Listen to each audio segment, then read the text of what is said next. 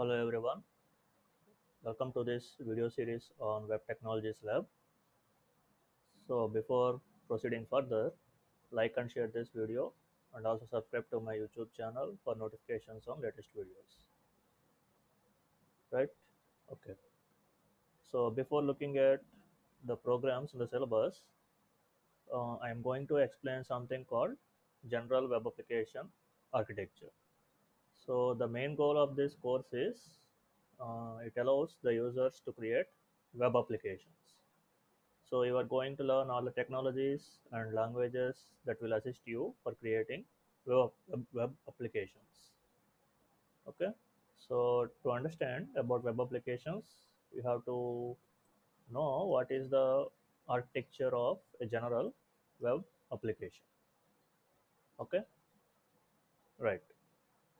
So first there is a user. Uh, you can assume this is yourself. Okay. Now the user is interacting with the front end, that is the browser, by sending a request. Okay. So the request can be simply opening the browser and typing www.google.com. Okay, or www.youtube.com. That is a request okay so you are requesting a page which belongs to a particular domain either google.com or yahoo.com or any other website. Okay so let's not consider google or youtube. Let's consider the example of your university exams website. So as a student of an university uh, you can check your exam results by visiting your university website so you are sending a request to your university website okay? So here the front end is the browser okay?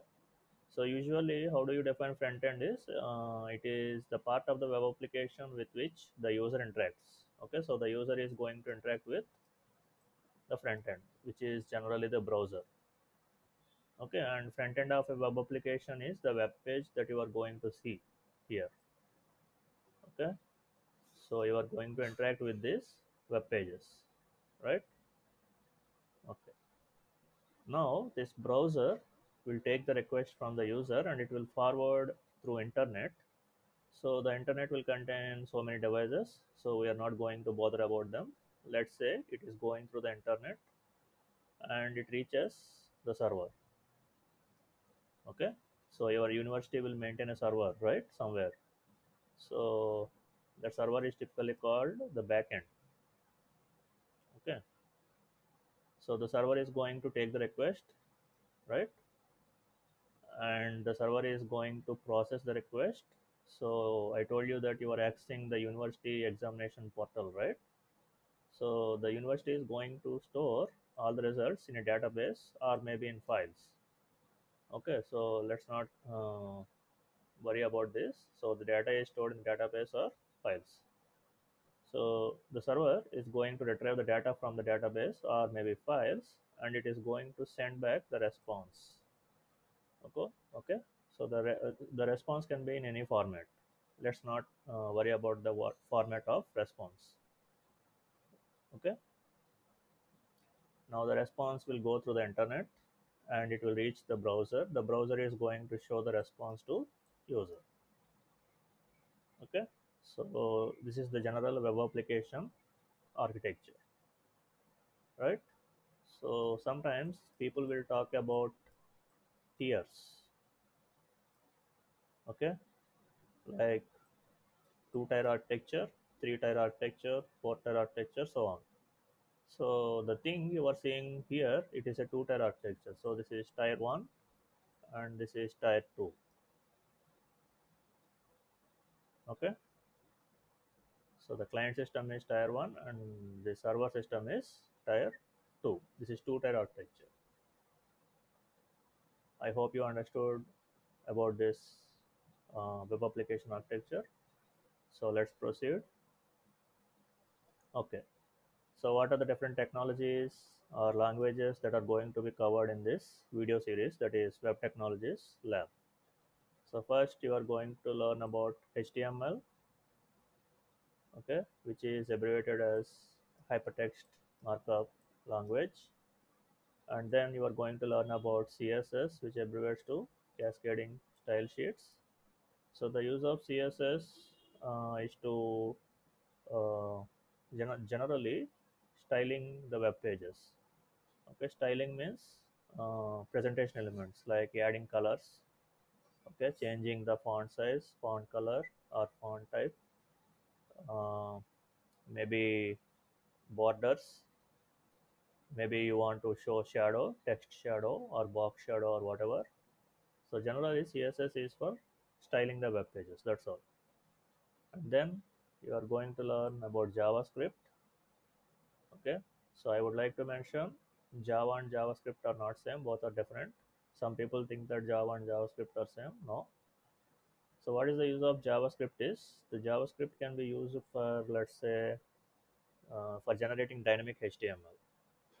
So what is meant by dynamic HTML means let's say when the user clicks uh, submit button in a form, something should happen. Okay, or when the user clicks a button, the image should disappear or the image should appear again. That is called as dynamic HTML. Uh, JavaScript can also be used for validation. Okay, data validation. So data validation means, for example, uh, in a form there is a mobile number field, right? So all of you know that mobile number contains 10 digits, right? So if the user is not giving 10 digits, maybe giving 9 digits or 11 digits, uh, the form should show an error that mobile number is not in the format, correct format, right? So that thing is called as validation. Such things can be done using JavaScript. And next, you are going to learn about PHP, which abbreviates to PHP Hypertext Preprocessor. Okay, so this PHP, this is uh, server-side technology. Okay, in the next in the coming slides, I will show you what is meant by server-side, back-end, front-end, etc. I will show you. Don't worry. So PHP is used on the server side. So PHP can also be used for data validation, just like JavaScript. Okay, uh, both can both can be used for validation, and you can use PHP also for retrieving data from databases or files, and you can do a lot of other things also. So that is, the use of PHP. And next, you are going to see something called XML, which abbreviates to Extensible Markup Language. So this is a data representation format. That's all. Okay, XML is a data representation format, right? So I think all of you know that uh, in a database, data is represented in the form of tables, right? Similarly, in XML also we store data, but in different format using tags. We will see. Don't worry. Okay and you are going to store data using XML and we are going to use technologies like DOM and SAX which are parsers for retrieving data from XML files. So the use of DOM and SAX is they are used to retrieve data from XML files using languages like Java, PHP, etc. Right? And then similarly as PHP, there are other technologies which are related to Java like servlets and JSP. Okay, so both of these things, servlets and JSPs, these are Java technologies. Okay. So these are the various technologies or languages that you are going to learn uh, in this lab curriculum. So before proceeding further, I would like to say that uh, in these videos or in this series, video series, I am not going to touch servlets and JSP. So whatever you can do using servlets and JSP, they can also be done using PHP. Okay.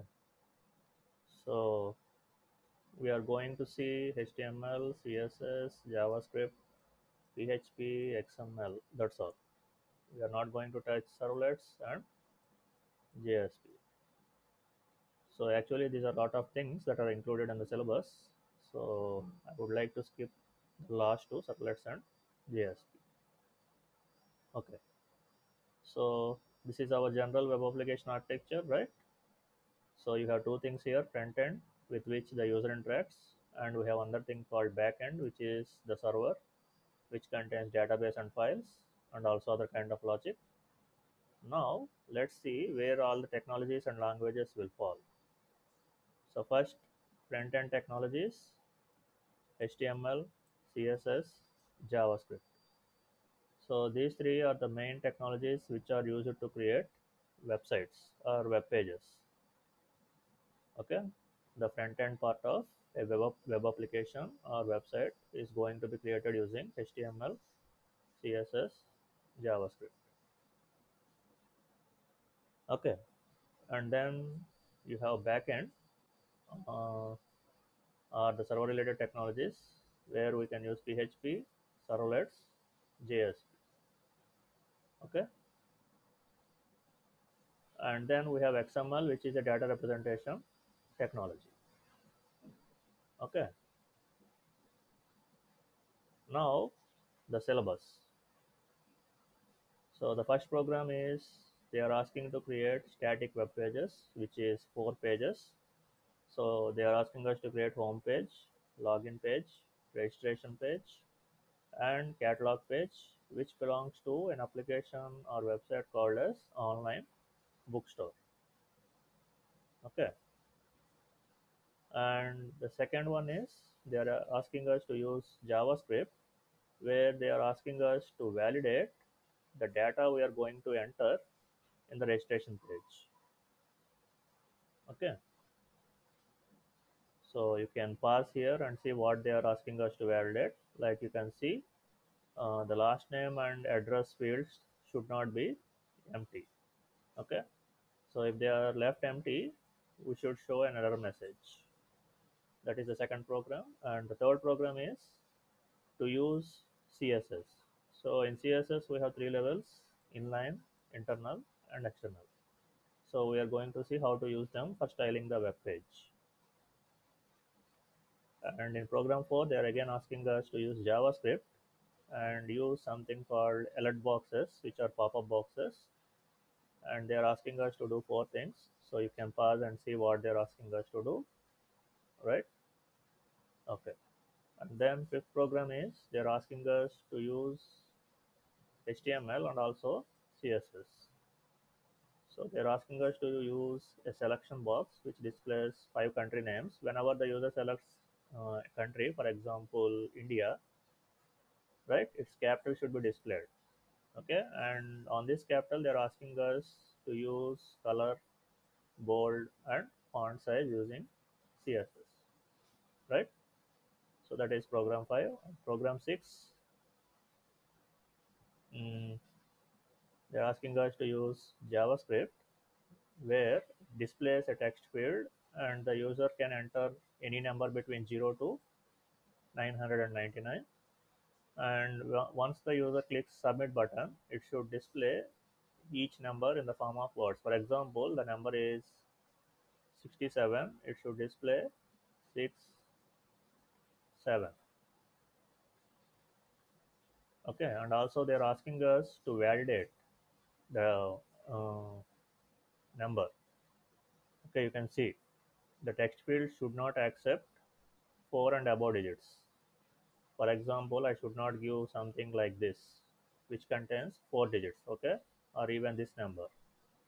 So the number should be less than 1000 okay and the number should not contain any alphabets or any other special characters. So we have to use javascript for that. And program 7 here comes php so they're asking us to use php for taking a number and displaying the sum of individual digits in the number. And second program they're asking us to find whether the given number is palindrome or not. And program 8 we are going to use xml i told you uh, xml is used as a data representation format to store data so they're asking us to store information of 10 users and we have to use Java language and use either DOM parser or SAX parser to retrieve data from XML file and display on the screen. That is program 8. And program 9, which contains four subprograms. So this is the first subprogram. Okay, so here you have to uh, display a text field which takes the name of the person as input and do something. Okay. So pause and read what you have to do. And second subprogram is to use php to display current date and time and also day and third subprogram in ninth program is mm, the page asks for name and also age of the person. And if the age is greater than 18 you have to display some message. Otherwise you have to display another message. So pause and read the program what, you should do.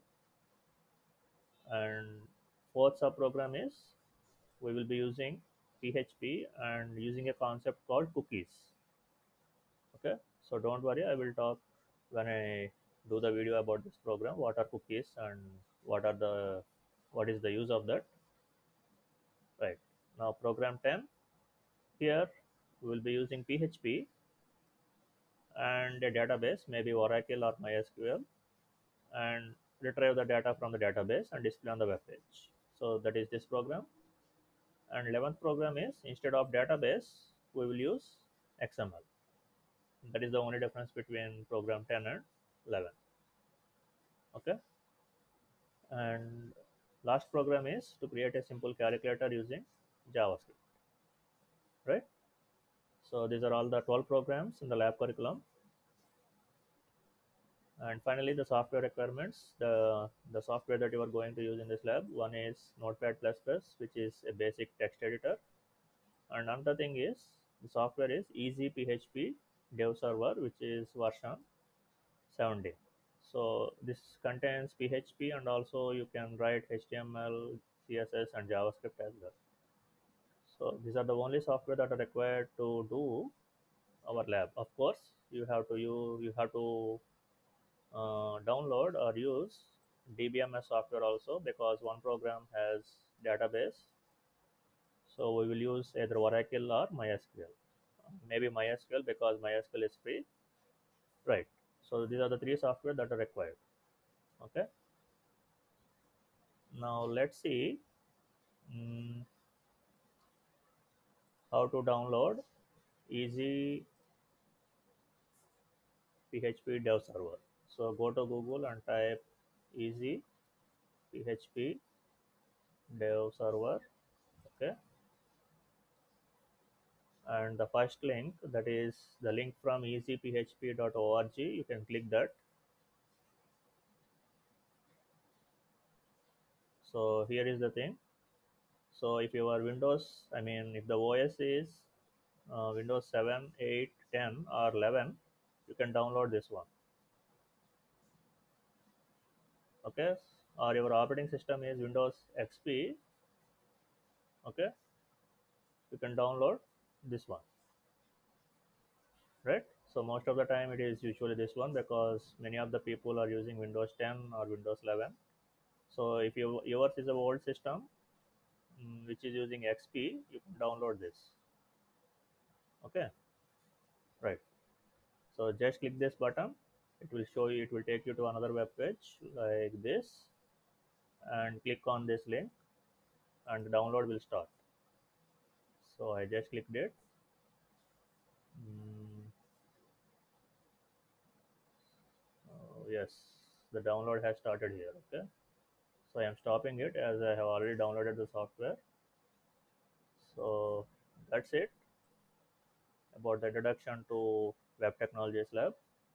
So if you have any doubts you can always comment below the video. Thank you